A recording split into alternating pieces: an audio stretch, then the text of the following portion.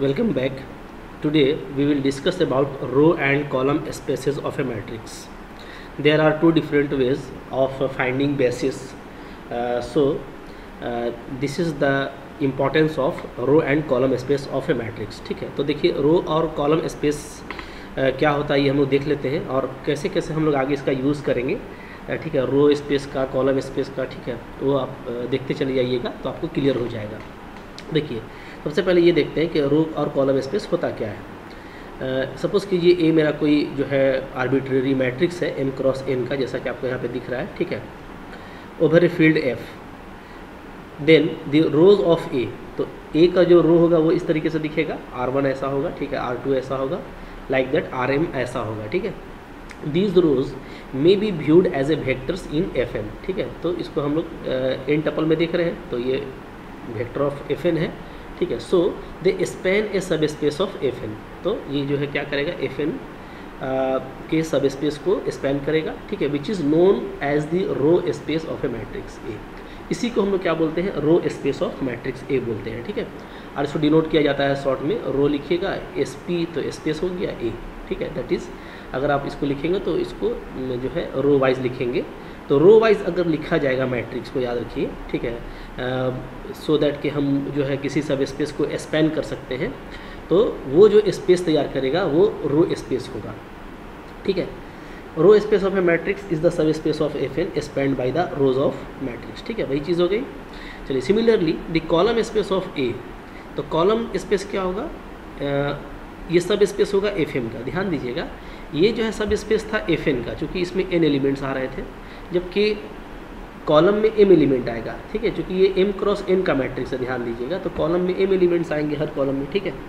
तो ये एफ़ का जो है सब एफ़ के सब स्पेस को ये स्पेन करेगा कॉलम, ठीक है?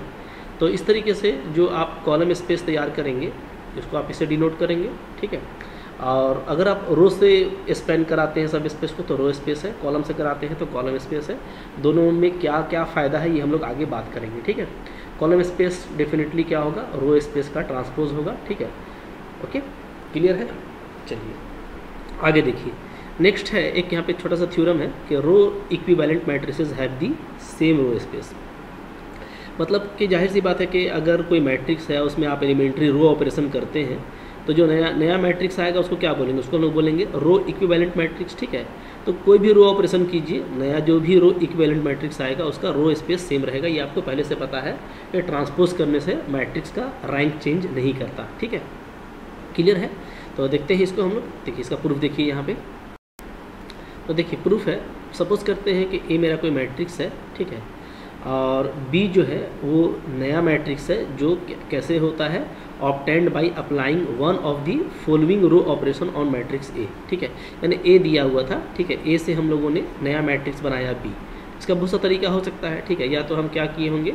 आर आई को आर जे से एक्सचेंज कर दिए होंगे, ठीक है? यानी ये ऑपरेशन लगाए होंगे। या तो हम लोग ये किए होंगे कि आर आई को, ठीक है? रिप्लेस कर दिए होंगे किससे? के आर आई से। ठीक है, ये ऑपरेशन लगाए होंगे। या हम लोग इस तरह का ऑपरेशन लगाए होंगे कि आर जे हम लोगों ने रिप्लेस किया होगा R j plus k R i ठीक है? तो कोई भी ऑपरेशन आपको पता है इस तरह का एलिमेंट्री ऑपरेशन आप कर सकते हैं तो ए से आपको नया मैट्रिक्स बी मिल गया, ठीक है?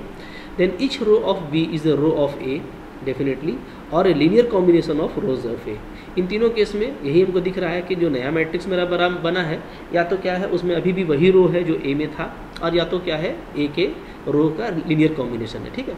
So the row space of A B is obtained in the row space of A ठीक है?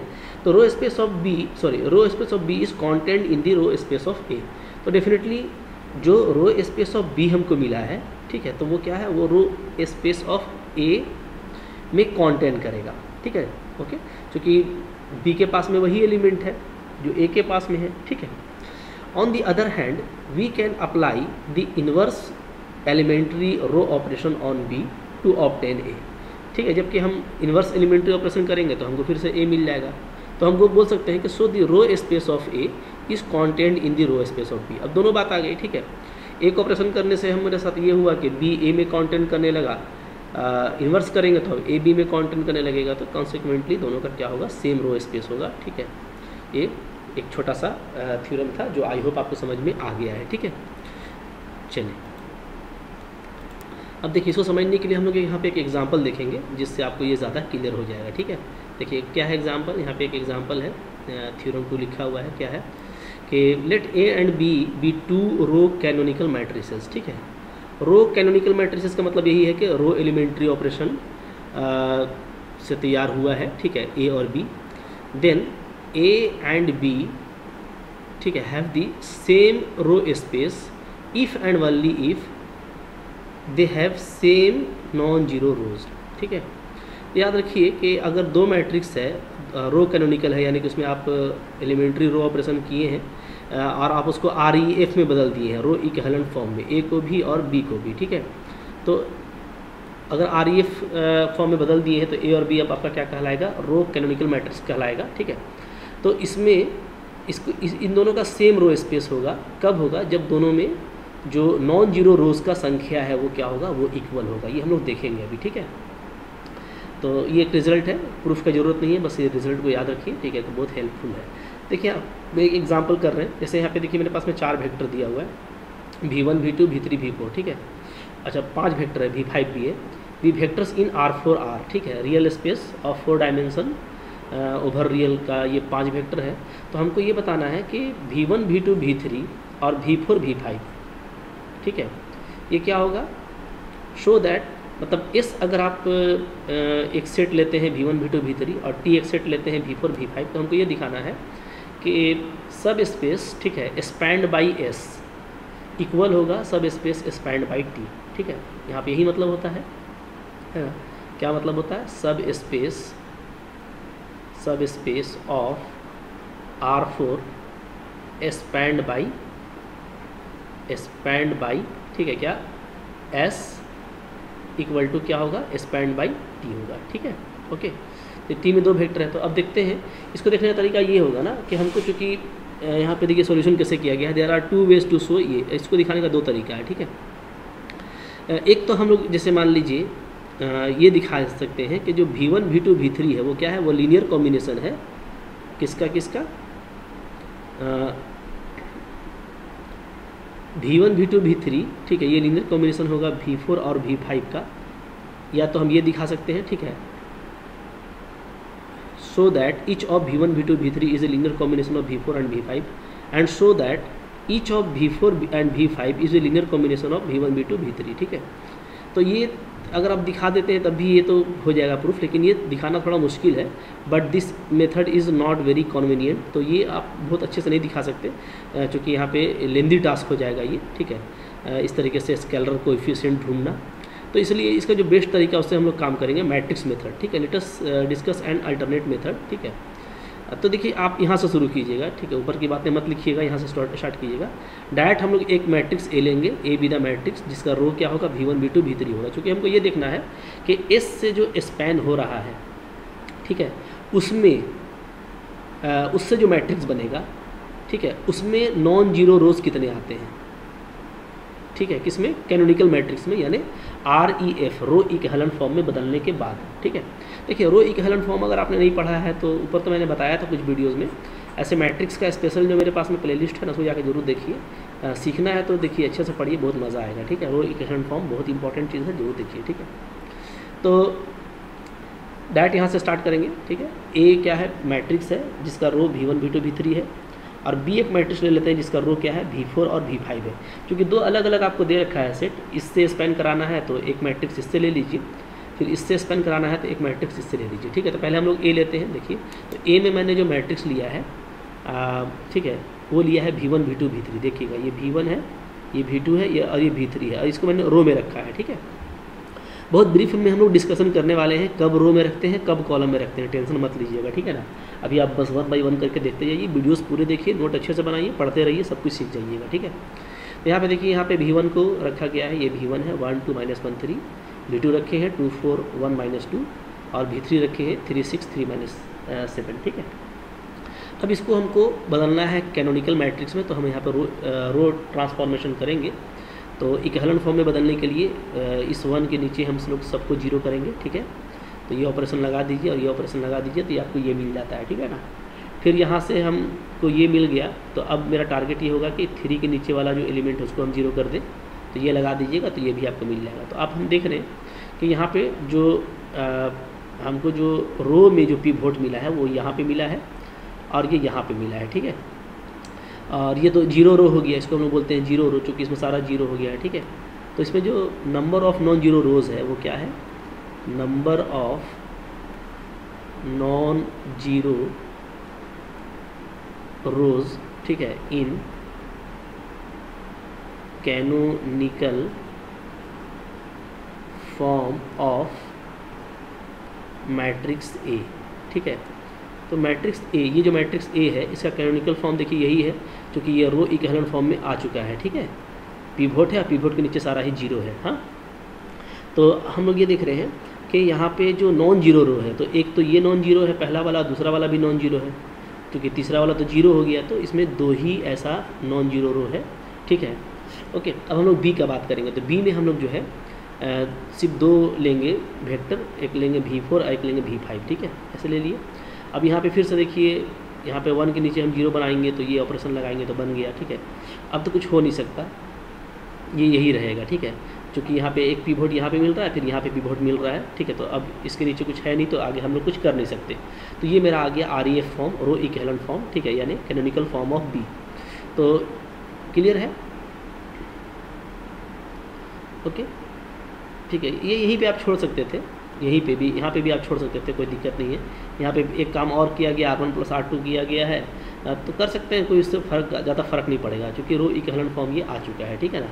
पीवोट्स के फॉर्म में आ गया है तो कोई खास फ़र्क नहीं पड़ेगा। यहीं पर आप लिख सकते थे डायरेक्ट क्या? कि number of of non zero rows rows in in canonical form ठीक है? ऐसे लिखिएगा in in canonical form of matrix B ये भी क्या आया? ये भी टू आया, क्योंकि इसमें भी जो है दो ही नॉन ज़ीरो रो है, और उसमें भी आपका दो ही नॉन ज़ीरो रो था। ठीक है?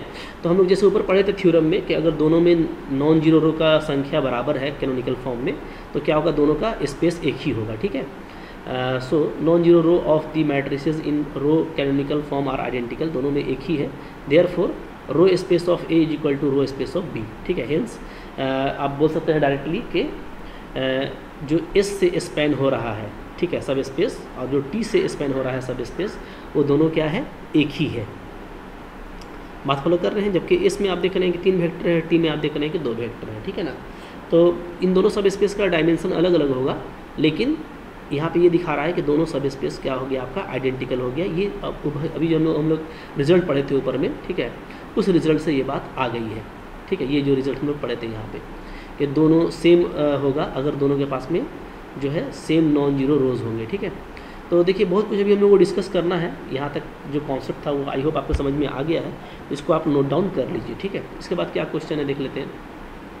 Prove that any vector is the linear को तो हम लोग कर चुके हैं लीनर कॉम्बिनेशन वाला ये सब बहुत आसान आसान है एग्ज़ाम्पल ठीक है?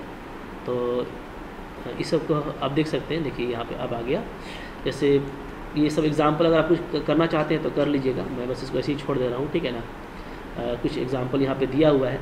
जो हम लोग ऊपर पढ़े थे उसका आप समझ लिए कि ये रिवीजन है। तो रिविज़न के तौर पर आप इसको चाहें तो कर सकते हैं ठीक है? इसको आप खुद से देख लीजिएगा ठीक है? छोटी छोटी चीज़ें हैं। करेंगे तो कॉन्सेप्ट आपका जो है क्लियर होगा, ठीक है बिल्डअप होगा। इसको अगर आपको देखना होगा तो आप देख लीजिएगा, ठीक है। अभी आप पॉज करके इसको आप जो है नोट डाउन कर लीजिए या सेव कर लीजिए, ठीक है? स्क्रीन शॉट इसका, ठीक है? क्लियर है? अच्छा।